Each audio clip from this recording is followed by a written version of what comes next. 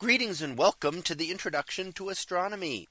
One of the things that I like to do in each of my introductory astronomy classes is to begin the class with the astronomy picture of the day from the NASA website that is apod.nasa.gov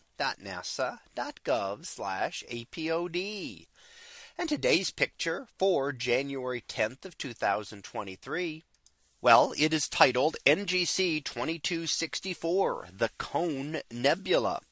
So what do we see here? Well, this is an example of a star formation region and what is known as the Cone Nebula for its distinct shape coming up towards a point there in the shape of a cone. Now the details in it are really showing us a lot of the signs of star formation, a very dusty area filled with a lot of material from which stars are beginning to form. And this is an example again of a stellar nursery. And we get some very beautiful pictures from these because of the patterns that will form within them. Now when stars begin to form, they will begin to form first in the darkest, densest knots. So very dark areas such as close to the tip of the cone here, where we see some very dark areas just below that tip, which are the denser areas that we really cannot see through in visible light.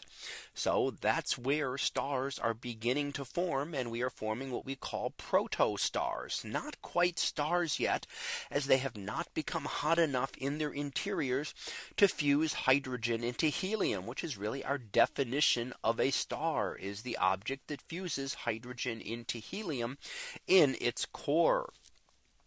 Now towards the peak of the cone nebula, we then see the region that is being pushed away by a very hot massive star, which we don't actually see in this image. It would be off the top of this image, but the energy from that star as it pushes out its strong stellar winds will sculpt away at the material.